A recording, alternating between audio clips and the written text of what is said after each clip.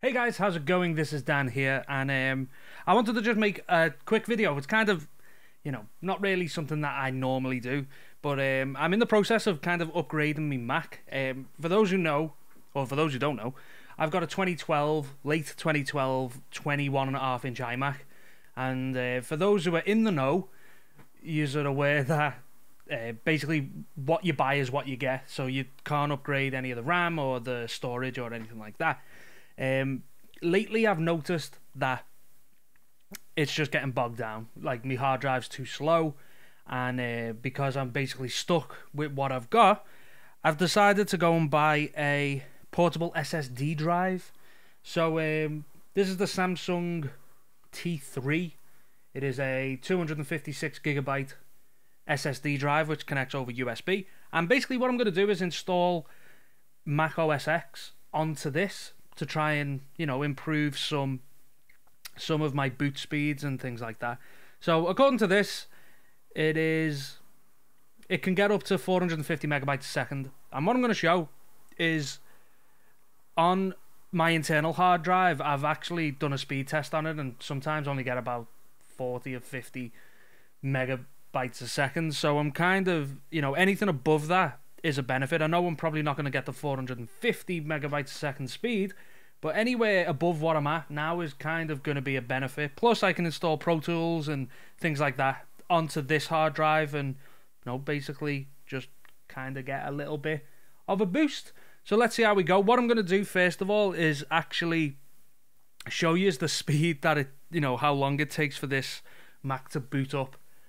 Um, to boot up, you know, from from standard on the internal, you know, 500 5,400 RPM uh, hard drive that I'm using. Um, but we'll we'll see because I haven't really I don't really know how how well it's going to work if it's going to work, but we will we will see. So let's have a go.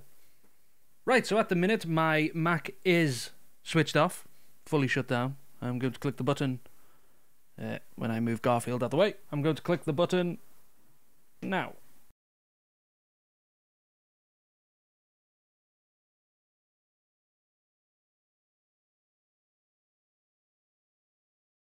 So that's it, booted up until the just up to the desktop anyway. At this point, you know, things are still loading in. Of course, you know, this is something that um maybe my my Mac's just a little bit more bogged down than than other people's.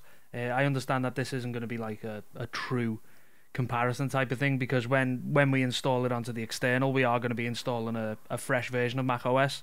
So um, you know, it isn't going to be directly comparable, but I just thought I'd make a video just kind of explaining the differences, I guess. So uh, now that we've got to this point, I'll be able to start, you know, plugging the plugging the hard drive in, getting it formatted, and getting ready to go. Right, so uh, we've now booted up all properly. Everything is uh, correctly plugged in and whatnot. So this is gonna. I, I hate having to use this bloody camera for this and not being able to, you know, actually screen capture and things like that.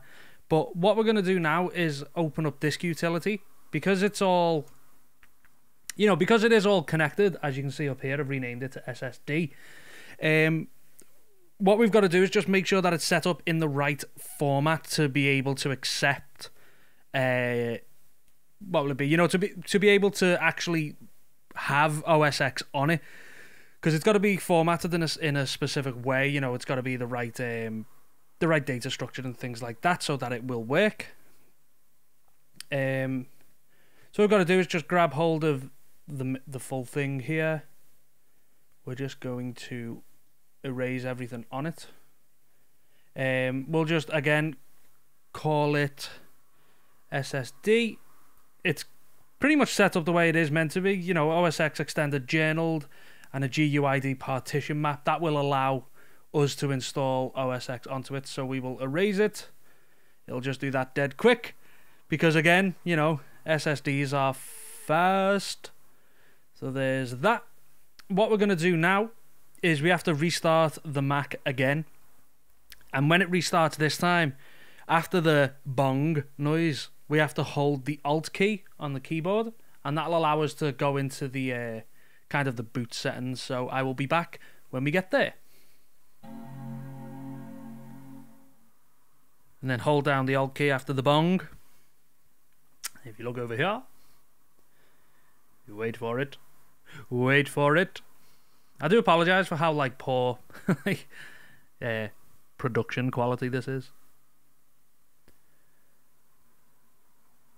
So hopefully after we in, like we install all this, everything will start working a lot smoother than that. So um wonder why my mouse isn't working. There we go. So we've got to choose the network. Let's get us onto the right one. One second. We have to do that, put our password in. I think that was the password. It was. And then what we do is go over to recovery, boot from there, and then that'll now boot us into the recovery section. So all this is going to now do is with the recovery partition on the hard drive, we can say, right, we want to now install a fresh version of this. You could do this is what you want to do.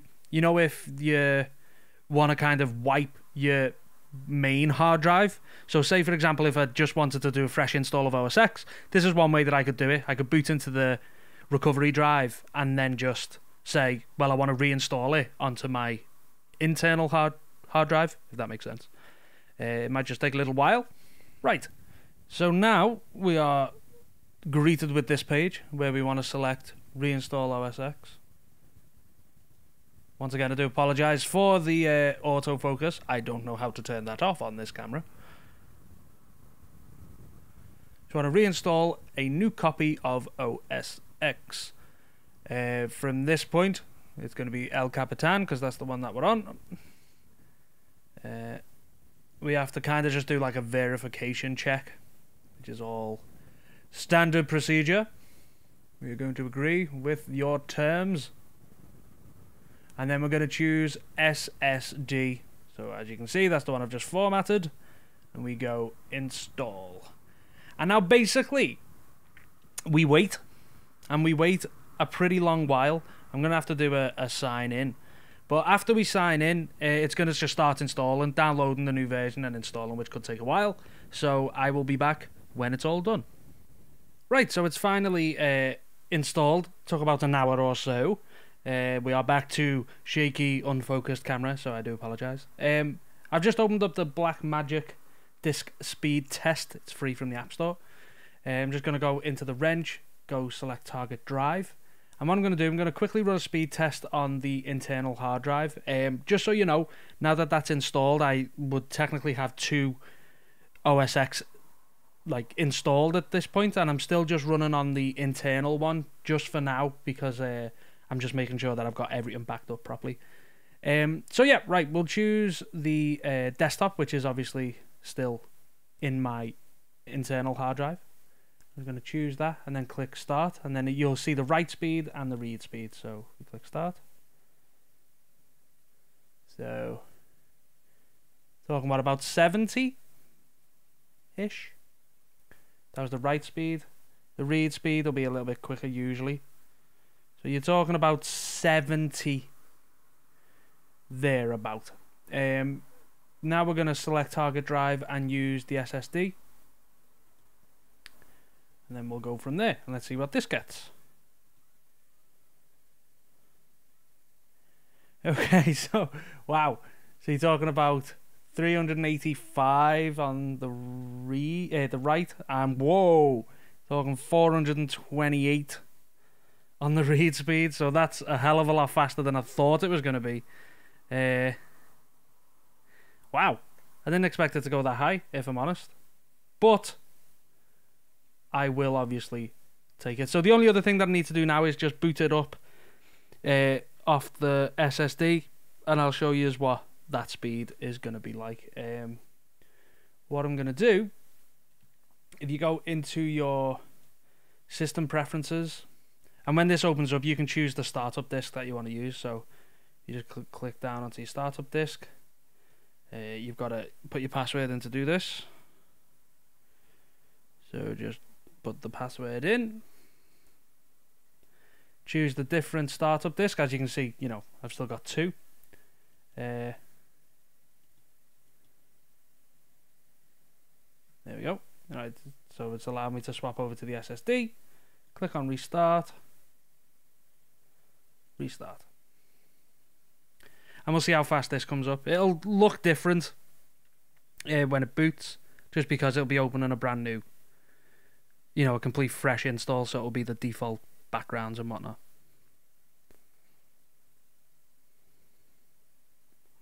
So still just shutting down at this point. Now it's off.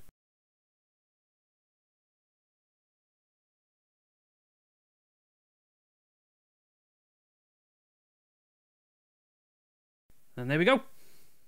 So I don't know how, how long that took. Again, it'll be faster next time I do it. Booted up all my drives.